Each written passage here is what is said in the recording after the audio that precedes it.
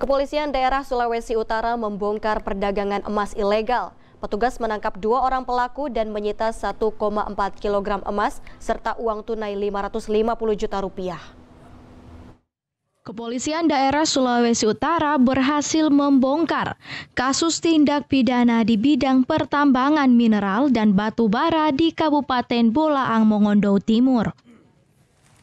Petugas Direktorat Reserse Kriminal Khusus berhasil menangkap dua orang selaku pembeli emas berinisial R dan RW tanpa memiliki izin menampung, mengelola atau pemurnian, serta penjualan emas.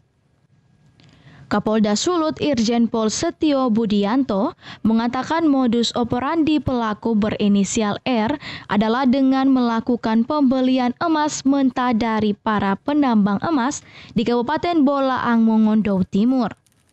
Sementara untuk RW melakukan pembelian emas mentah di toko emas di kota-kota Mobagu dan dari para penambang.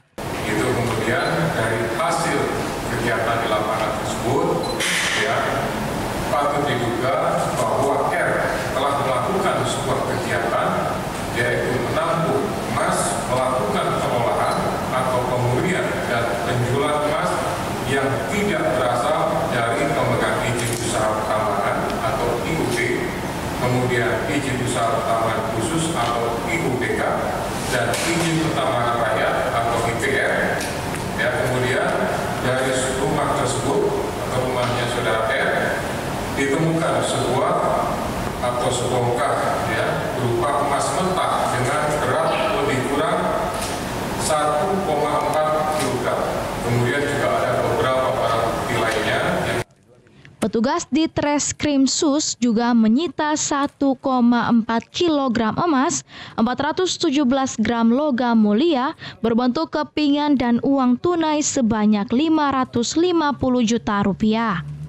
Kedua pelaku akan dikenakan pasal 161 Undang-Undang Nomor 3 Tahun 2020 tentang perubahan atas Undang-Undang Nomor 4 Tahun 2009 tentang pertambangan mineral dan batu bara dengan pidana penjara paling lama 5 tahun dan denda paling banyak 100 miliar rupiah.